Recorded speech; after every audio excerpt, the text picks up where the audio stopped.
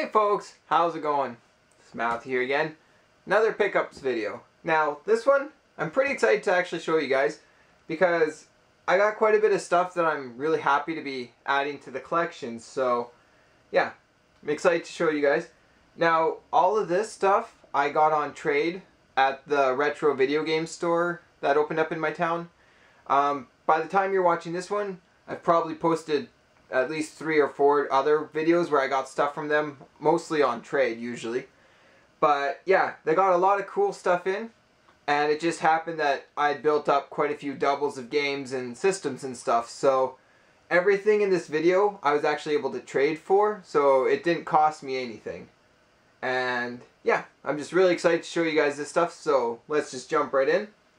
So the first thing I picked up on trade is for the Game Boy, and it's Yoshi's Cookie. I did have this one loose, but the cartridge was in rough shape. And yeah, now I have it boxed, complete with the manual and the game. So, happy to have it. Never hurts to have another boxed Game Boy game, so yeah. Yoshi's Cookie for the Game Boy. Box complete. Now, the next game is another box complete game, and that is Little League Baseball Championship Series. Now, I tend not to pick up sports games that often. If they're super cheap, I, I will. But this one, the main reason I picked up, well, two main reasons. Uh, it's in really good shape, and it's box complete. But yeah, the shape is really good. Hopefully it kind of picks up on the camera there. But really good shape. And the other thing is, it's made by SNK, which I thought was kind of cool for a sports game. So I'm actually wanting to try this one out, hopefully soon. But yeah, SNK Little League Baseball Championship Series for the Nintendo. Box complete. Happy to pick that one up on trade as well. Uh, next we have a GameCube game. This one I was happy because I pretty much have most of them in the series. I think I'm missing, well, I'll get into that in a second, but it is Mario Party 6 for the GameCube. It is missing its manual, but it's got the game disc and it's got the original case, so I'm not too worried about manual. These games aren't hard to pick up and play, so...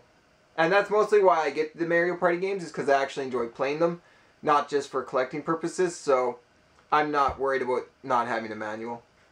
But yeah, now that I got Mario Party 6, I have Mario Party 1, 2, 3, I'm missing four, but then I have five, six, seven, eight, and I don't have the newest one, nine.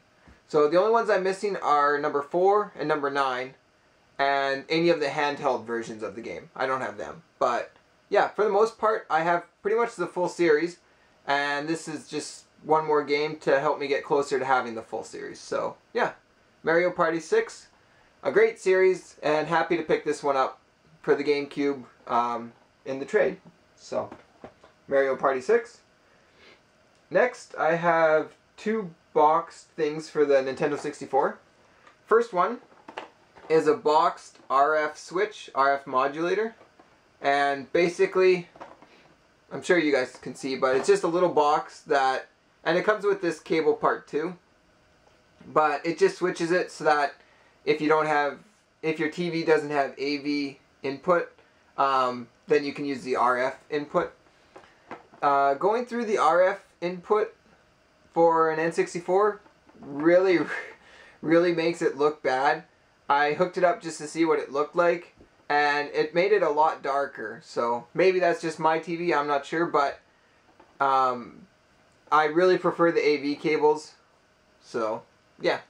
But I picked this up because it is box complete, and it's kind of a cool accessory to have box complete.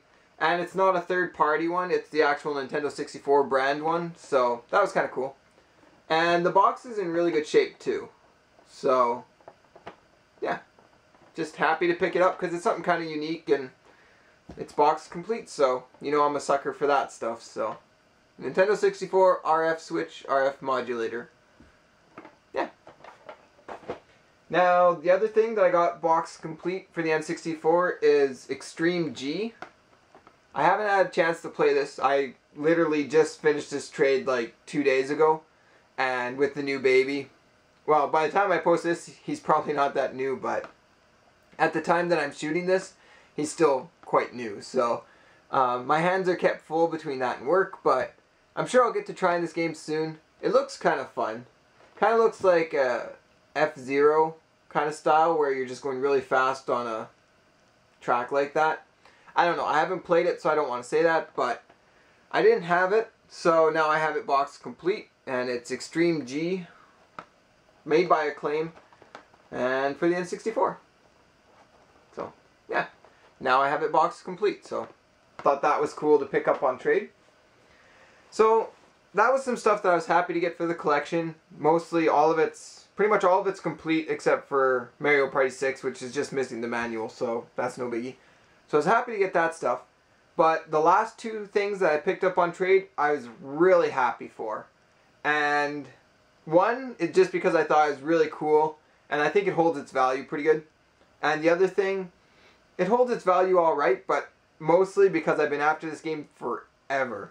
And for you guys that have been with my channel for a while, that probably gave it away which one it is, but I'll show you guys. I got Harvest Moon 64.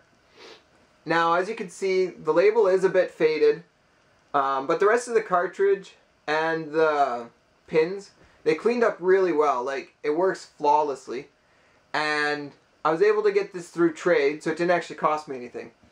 And I was happy to, I was hap really happy with this copy. Like, I don't really care that it's faded, because eventually I want to get this game boxed complete, but now I can at least play the game, so I won't feel rushed to go out and pay like eBay prices for a box complete copy.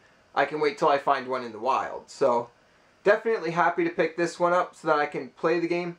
As I mentioned, it's probably my, one of my favorite games of all time, if not the favorite game of all time. Um, yeah, no, just happy to have it. So Harvest Moon 64 for the N64. Been looking for it for a while. Got it in trade. Couldn't be happier. So, yeah happy to have it.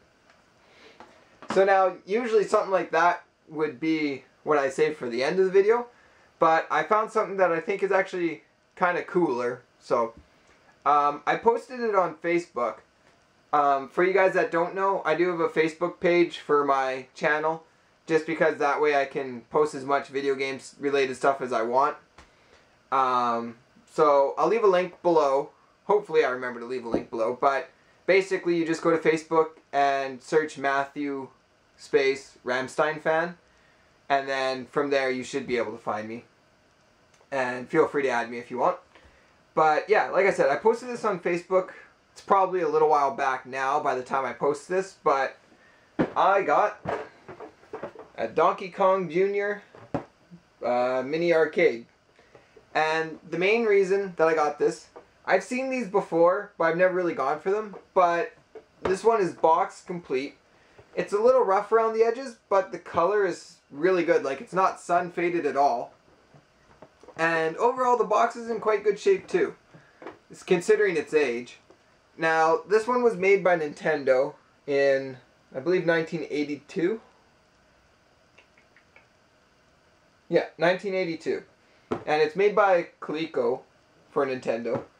But they had a bunch of these, and I think this one's kind of shaped a little different than the, your typical Pac-Man, Miss Pac-Man, Q*bert, um, Frogger, the regular ones in the series. This one's kind of shaped differently, but like I said, box complete. Really happy to get it, and I'll just quickly open it up. Basically, what I got inside is the actual game itself, the mini arcade. And I like the artwork on it, um, just on the sides and the front. It works really well. I don't have the batteries in it.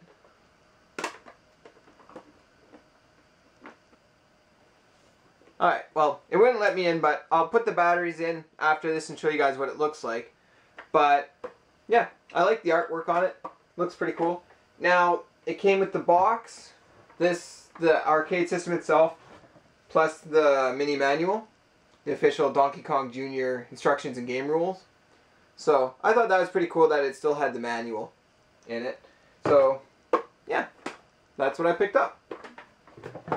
And like I said, everything here was on trade. They almost the one guy that runs the shop is a fellow video game collector.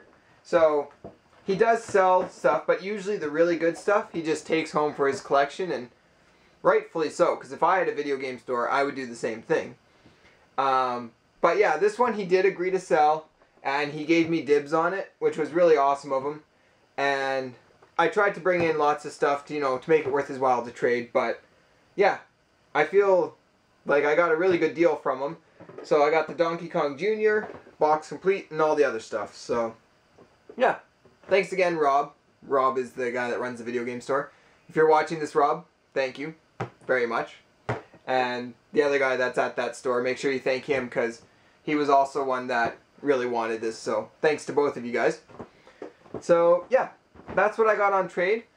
Um, I'll do a quick pan over to show you guys everything, a little bit of a close up of everything. But yeah, thanks for watching. I really appreciate it. Feel free to comment with what you think of what I picked up, if you played any of them, um, or what you guys have picked up lately. You can comment with whatever you want. So thanks again for watching, and I'm sure I'll see you guys with another video soon. So thanks.